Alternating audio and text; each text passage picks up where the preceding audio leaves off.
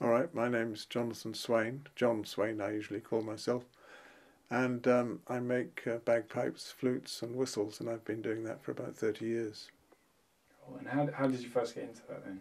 Well, it's a long story, but um, when I left school, I trained as a lawyer. I did a university degree in law and um, then professional examinations in law, became a solicitor uh, and um, after a while, I decided that I didn't want to do it for the rest of my life. It took me about 12 years to get out of it. Well, not that I was trying for 12 years to get out of it, but um, at the end of 12 years, I finally succeeded in finding something else. I was um, playing music, uh, flute and piano, mainly flute, uh, in various local orchestras and groups. Um, uh, and um, it so much that it became like a semi-professional thing. And uh, then I met some people who were playing early music, if that means anything to you. Um, it's a technical term, really, for you know for uh, music that's not modern. I mean, um, Renaissance, Baroque, uh, medieval, all that stuff. And uh, there was a demand at that time, still is, of course, for um, instruments to play that music on. And uh, because they're not being made anymore, and a lot of them don't survive. And if there were any surviving, there certainly wouldn't be enough to go round to satisfy the numbers of people who want to play them. Of course, um, we all know recorders, uh, and um, Arnold Dolmetsch started the recorder revival in the 1930s. Um, but um, you know there are many other early instruments like um, flutes and crumhorns and so on. And um, uh, as I say, I met some people who were playing early music, and I became aware that there was a demand for instruments to play that kind of music on. And uh, uh, at the same time, I was working for um, some people who were starting a crafts community centre. I did a wood turning course there, and sort of putting two and two together, I thought, oh, maybe I could make woodwind instruments. And um, I tried to get an apprenticeship without any success, but I, in the course of doing that, I found out about a full time instrument technology course in London that was running. Uh, I managed to get myself onto it. Oh.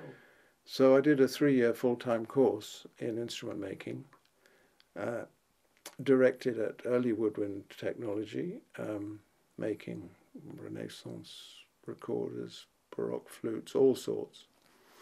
And uh, uh, in the course of the first year, um, I met some people who were playing folk music, uh, and um, well, at the end of that year, I decided that probably folk music was more interesting for me than um, early music. And although I kept making um, early woodwinds for quite a few years, um, I started making folk whistles and flutes and bagpipes towards the end of the first year on that course. And um, over the years, I began to specialize in that. And the um, the other instruments which I made, like Renaissance recorders and flutes, they all um, I stopped making them in the end. Um, another thing which happened was very important during the first year was that I met some people. Oh, I think I've already said that playing folk music, um, but I started playing it myself, which I'd never done before. And uh, we started a band which um, became Blowzabella and um, uh, became very successful and has been very, um, been very influential on contemporary folk music in, in Europe and the world. So, so from what I understand, you've kind of you've you've moved, you've gone from like the whole legal thing and got out of that, and you've ended up uh, on the music side. You you gig, you compose, and yeah. you make instruments. Yeah. So you've got kind of like the the full three there. Did Did you enjoy gigging with uh, Blowzabella? I still do. Oh right. Uh, we're still going. Oh cool. Um, I did. We we were um, more or less a full time band uh, in the late eighties. Uh, I had to leave the band for a few years um, for family reasons of family commitments and so on. I rejoined in 1990, um, but by that time, uh, the, some of the others were getting a bit fed up with the pressure of touring and uh, had, you know, beginning families and things, and so we decided to uh, stop the band in 1990. Um, about five years after that, a few of us got together just to do occasional gigs, and then in 2003 we realized that it would be the 25th anniversary, so we had a big get together to celebrate that. All the ex members and so on, um, and the people who've been in it in 1990. Uh, and that went very well, and we decided to carry on with the same kind of lineup that had been going in, 19, in 1990, um, and uh, seven seven musicians, and there've been a couple of changes since then. But um, everybody's very enthusiastic, and we do uh, sort of between I don't know um, eight and twelve gigs a year, not a huge number, because we're all very uh, involved in other things. Um, uh, we've all got our own projects and so on, and um, everybody's very busy, uh, so it's quite hard to get together. But we like to do it, and um, so yeah, it's it's very. Um, we're still writing ninety percent of, probably more than ninety percent of our own repertoire, and um, yeah. And what's kind of, in terms of like the folk world? What's like the best gig that you've ever done with Blaze of Oh well, probably I would say without a doubt, um, doing the uh, last night bal at Saint Chartier. I can't remember exactly the year. It was. Might have been ah, 2003. Well, it was a few years ago, anyway. Uh, but um, and it was uh, uh, are you familiar with that festival at all? No. I, I am a little bit. You uh, are. Yeah. Okay. Well, it's it's um, been very influential in my life um, as a bagpipe maker because it was set up in 1976. Uh, it was started in 1976 by a local hurdy-gurdy enthusiast uh, in order to encourage the makers of bagpipes and hurdy-gurdies in that area of that village, which is in the geographical centre of France, where there's a very strong, has been a very strong tradition of bagpipe and hurdy-gurdy playing, um, which um, kind of began, began to die out in the 60s, but it was went, underwent a very strong revival. Uh, and that festival had a lot to do with the revival. Um, we I first went there in 1979, and I think I've been every year since, except for 1983 when Blows was playing at some festivals in Canada. Um, I say it's been a strong influence. It's introduced us to a huge um, repertoire of music. It's it's set by meeting other makers, of which there are probably, you know, maybe a hundred plus now. By me, me uh, meeting other makers, it's raised standards, uh, the standards of instrument making, and it's been, it's set me, you know, a goal uh, to make better instruments, um, and uh, of course it's enabled me to reach a much wider uh, public for selling instruments. Uh, the you can never tell quite how well you're going to do there in terms of sales because um, every year is different. But there have been years in which I've got maybe you know six months' work. So it's been very valuable for my working life since I started instrument making. Anyway, um, the concert uh, program is always is fairly fairly interesting. They they find performers from all over Europe and all over the world. Um, mostly with a, a bagpipe or hurdy-gurdy um, content, but not necessarily. They once had um, Joan Baez, which I thought was a strange choice. What's that? Um, what? She's a South American singer who was who had some hits in the '60s, and has continued a quite a strong career. as a sort of um, contemporary folk singer. Uh, anyway, I discovered that she was um, it was it, that she was much beloved by the festival organizer, and it had been a dream of the organizers to get her there. Oh, So even though she didn't really have much to do with the festival, she performed. Um, but normally they have, uh, uh, uh, you know, pretty strong, very strong, the, the best um, groups you can hear in the field. They're headlining the concerts.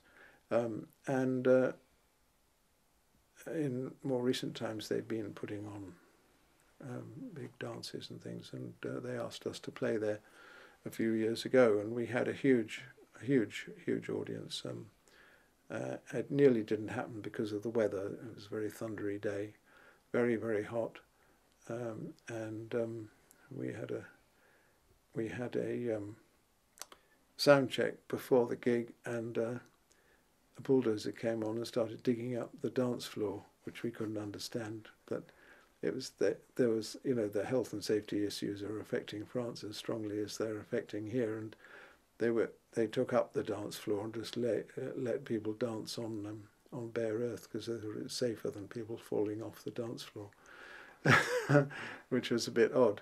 But anyway, it, the gig went uh, fantastically well, and I would say that's probably my my strongest um, strongest memory. Of being lots of other ones as well. And also, you were talking about the hundred plus bagpipe makers. Yeah. Um, well, not bagpipe makers, but um, all kinds of folk instruments, but uh, possibly 30 or 40 bagpipe makers. In terms of that, where would you sort of, uh, where do you see yourself ranked in terms of uh, bagpipe ma- in the bagpipe making community as well name attached to making bagpipes? Um, well, I guess that in in that kind of world, uh, in taking that festival um, uh, uh, as, uh, as, as, a kind of standard and um, uh, the kind of people who would exhibit there, I, I, I, don't know. I mean, I might be in the top sort of five or something like that. I guess, yeah. But um, the thing is that um, you know, you have to regard this kind of bagpipe as completely separate from, say, Highland pipes. You know, Highland pipes have been, uh, no one knows quite where the first Highland pipe was made. Um, it it, it uh, benefits from, or if that's the right word, a very long tradition. Um, the Highland pipes as we know them were probably made somewhere around 200 years ago or, or less, but the instrument itself has been going for much longer than that. And um, because of the fact that it was banned by the British as an instrument of war at one time before the Act of Union, and then when uh, Scotland and England came together under the same monarch, um, the army uh, took the bagpipe under its wing and you know everything that is um, adopted by the army has to be standardised so they're all the same, which meant that um, uh, Highland ba- a Highland bagpipe is more or less a standard instrument now, and you can go out and buy a reed for one and know that it'll it'll work in your instrument. That's not the case with these, and you know with bagpipes that don't have a strong tradition. The the the instruments I mainly make are what I call what we call border pipes, which are um, instruments derived from instruments which were played uh, in the borders. That's to say, you know, the border between England and Scotland, uh, in the lowlands of Scotland, not the Highlands, uh, and in the north of England, and they were popular um, from this. As far as we know, from the 17th century up to the early 19th century, and then they dropped out of favour because other more useful instruments came along, like the fiddle and the accordion and so on. And uh, that happened, that story is typical of many European bagpipes. Um, bagpipes were known all over Europe and beyond. Um, you can find bagpipes in northern India and in the uh, in in Georgia, um, Siberia, and Ukraine, and you know most of um, the Europe and, and the countries near to it had bagpipes, and North Africa as well. They're thought to have originated somewhere in the Middle East and were possibly uh, uh, possibly um, d- uh, caused to travel by the Crusaders, like many other um, uh, musical instruments. Um, I can't remember what I, why I started talking about this. Now you asked me a question, and I got off on a, right. a, bit oh, of a bit of a tangent. How, because um, you were talking about the standardised army yeah. like bagpipes. Yeah. Is there anything that makes your uh, the Jon Swayne bagpipe kind of unique, or anything that you've designed differently? Yes, I remember models? what I was going to say. Now is that okay. um, is that uh, uh, the first bagpipe I made was based on um, a picture of a Flemish instrument from about 1550. And you probably know the pictures that I'm thinking of, the ones by Bruegel. Uh, there's there are two or three famous ones um, showing bagpipes in great detail. There's one of a peasant wedding and another of a peasant dance. And uh, I'd seen various Flemish pipes when I made the decision to make the first set of pipes, I'd seen various sort of so-called Flemish pipes, but I hadn't seen any that looked exactly like that, and I thought it'd be very interesting to study the painting very closely and make a as close a copy as I could. Of course, you can't tell much about the acoustics by looking at the instrument. You can tell something about it, but not um, not much. So I had to make up a, a lot of it. But you can make very educated guesses about the way the instrument could have sounded. Um, and then I made a, a similar period bagpipe, but based on pictures of English pipes from that same time.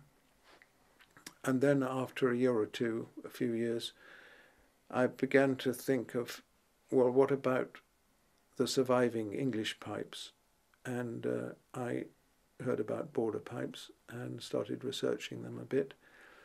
Uh, at, at the same time, I'd started going to Saint Chartier and I'd heard the results of uh, what people were making in in the field, not necessarily border pipes, but the pipes from central France and um, from Belgium.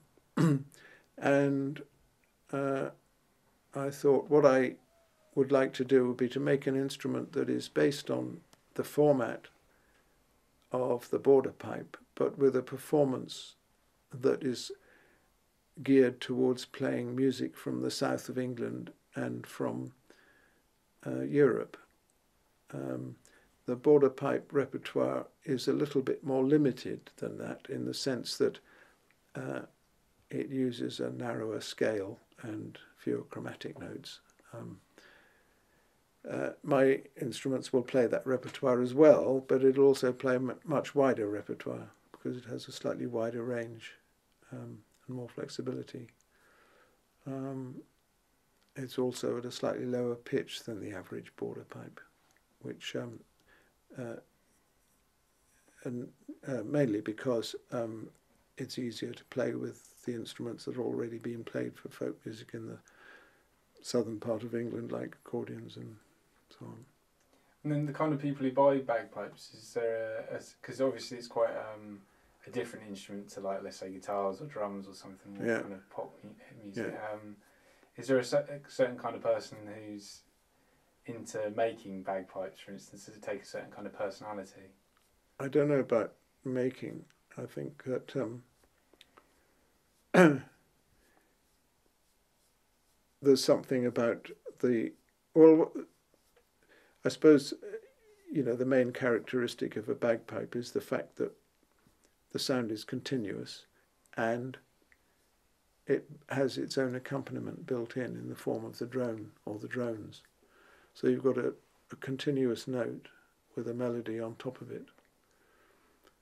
Um, and many people, well, it's a bit like Marmite. Some people like it and some don't.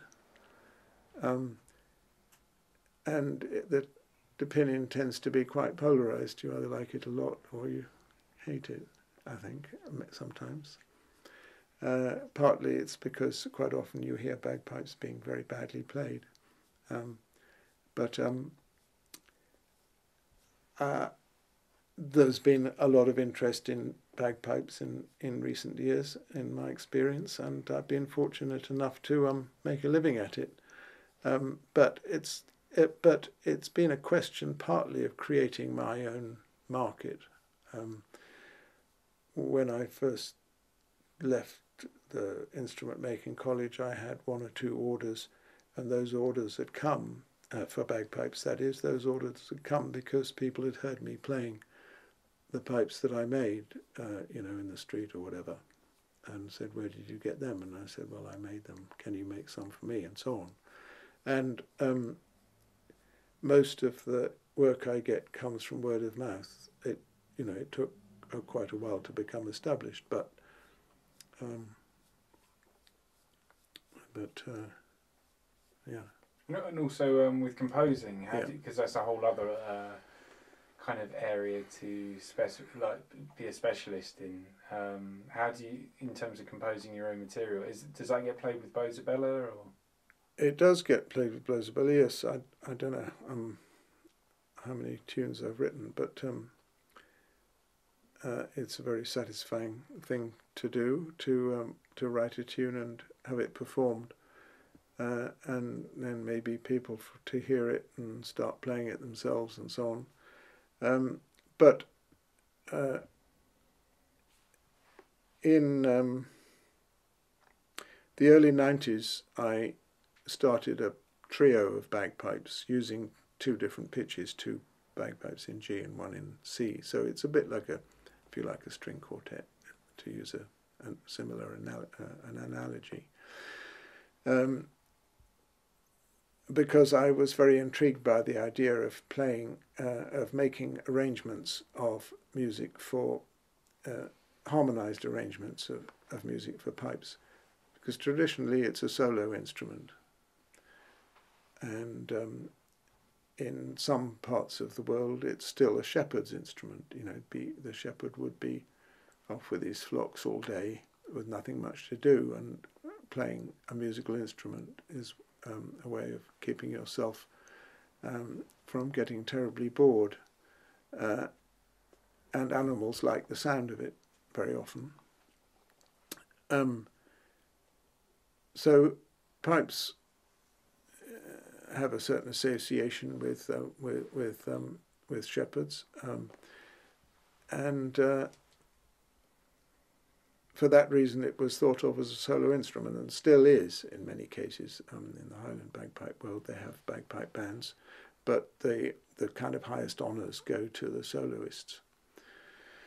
Um, uh, so, uh, yeah, I had this idea of, and it, I wasn't certainly wasn't alone. I, I, had a lot of inspiration from other people who were trying it out, um, writing music for um, two or three or more pipes um, using harmony. Um, so you would have a separate line maybe for each each instrument. Um, and I started a trio, as I said, called Moebius, which um, started in the early 90s. And I wrote uh, a lot of material for that uh, you know, enough for a CD and more. Uh, uh, and and we performed a lot. Um, it, we haven't performed for a few years now, but um, the music still gets played occasionally in other groupings. And then uh, towards the end of the 90s, I started another bagpipe group called Zephyrus, which is six bagpipes and percussion. And uh, again, it was a question of writing all the repertoire for it and I've written um, well two CDs worth of repertoire for that. So um, yeah, I mean, there's been um, uh, I enjoy writing. I find it very hard work, uh, um, very um, very demanding. But if, if I can persuade myself to get down to it, it usually produces worthwhile results.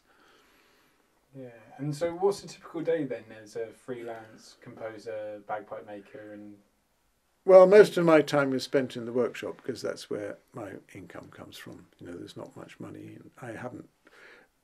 I do get a trickle of income from performing rights, you know, for music that I've written, uh, but it's not massive, and I certainly couldn't live on it. Um, so most of my working day is spent in the workshop making instruments, and um, you know I've got an assistant who does three days a week, and he's been doing that for over ten years now. And before that, I had various other colleagues working for me. So um, I've been very fortunate in having um, uh, a full order book uh, the whole time I've been making instruments. Um, I think that the present economic climate has affected things slightly, but I've still got um, at least two years' work in hand. So if somebody orders an instrument today, they won't get it for two years. And uh, that's I should qualify that by saying that I um, make a, a beginner's bagpipe, which I call a student bagpipe. Um, if somebody's starting, they want to start now, so that is available always within six months. And um, I also make flutes and whistles, and I usually make batches of whistles once a well within two or three months at the beginning of the year. Uh, and um, they may be in stock or they may not, but but usually I have whistles available. I'm, mm, yeah. So, but apart, but as far as bagpipes are concerned, the main uh, uh, the main output, um, yeah, you have you'd have to wait at least two years. Yeah, but in terms of how you feel about it, from not being happy at a, a law school to now fully doing it and being two years in demand, uh, how does that feel for you? I'm very content doing what I do. I love it. Yes, and uh, I mean I'm six years past retiring age. Uh, I, am 71 this year, and um, I don't envisage giving up anytime soon um, because I like it. Um, I don't have a pension. That's part of the reason why I keep going. But, but um, aside from that, um, I like doing it, and uh, I get a lot of satisfaction from it, and uh, I feel very lucky to be able to do it. Um, uh, I've met, you know, I made friends all over the world. Um, and uh, sometimes they come here to buy instruments, and sometimes I go and visit them. Um, uh, yeah. That's cool. And also, do you find, um, even though that you're past retiring, um, that you're still kind of learning as you go? Definitely, yes. Yeah, we learn all the time. And the pipes are still developing then? They are, yeah, yeah. And uh, um, well, I'm making for the first. Uh, I'm making uh, right now.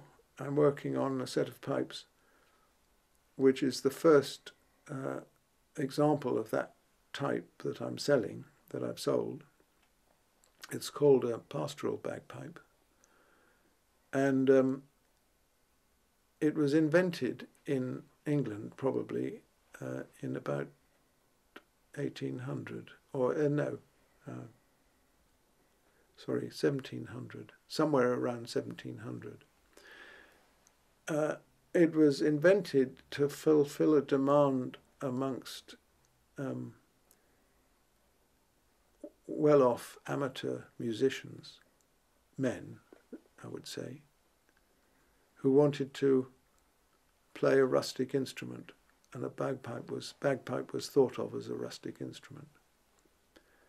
Um, there was a fashion for um, for going back to nature, uh, which was very strong in Europe, um, and this instrument seems to have been made to fulfill that that uh, that urge to play to play a rustic instrument. Um, it had quite an advanced specification compared with other bagpipes. It was quieter, had a wider range, um, and uh, was played with bellows rather than being mouth blown. Uh, and it was supposed to be able to play the same sort of range as a flute. Um, a lot of them were made uh, during the 18th century and they survive in museums. There was a tutor written for them in 1750 or a bit earlier, which um, was published in several editions. uh, so there was obviously a demand for it. Um, the puzzle is now that we don't haven't really known how to make that instrument work satisfactorily, and I've spent um, more than fifteen years working on it as time allows. Um, and I finally got to the point uh, where I now think I've got a reasonably um, playable instrument. So this is a copy uh, of a, an instrument in a museum. It's in the Brussels Conservatoire Museum, although there are plenty in England as well, but I just happen to have chosen this example um, uh, because it's a it, it's typical of its kind and it's made by a well-known maker of pastoral pipes, Hugh Robertson, who worked in Edinburgh in about 1770. Uh, and um, so, I'm, as I say, I'm just making, completing the first example of this that I'm selling. Uh, so that would be something, you know, new to the workshop, if you like, uh, in the, as far as sales are concerned. Although I've been working on it for some time, and there are other things that I want to make that I haven't made yet. So there's um, yeah, there's plenty of development. Sounds uh, quite pioneering. Well, it is in a way. Um, one or two people have had a go at making this instrument um, without, I dare say, um, a great deal of success. Um, I think I've got somewhere with it, so we'll see. Yeah, and um, finally, because we've run out of time now, uh, if, could you introduce uh, one of your own songs and and uh, play as play as one of yours? Okay. Could you introduce what it is first as well? Then? Um, this is uh, this bagpipe is typical of the ones that I make. It's a border pipe in G.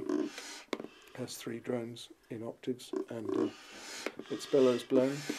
Um, and uh, well, I'll play um, I'll play a jig which I wrote some years ago called Penda's Fen. It was actually inspired by a a TV film, um, and I've forgotten the name. For a long time, I thought it was by Dennis Potter, but it's not by Dennis Potter, it's by somebody else. And it told the story of a slightly disturbed adolescent who was living in in in the Malverns, near where Elgar lived, and he meets uh, the ghost of King Penda and the ghost of Elgar, and uh, he sits playing excerpts from Elgar's Dream Gerontius on the church organ in the local church, and he reaches a, the climactic point of the work, and as he does so, the floor of the nave splits from end to end. It's a fantastic film.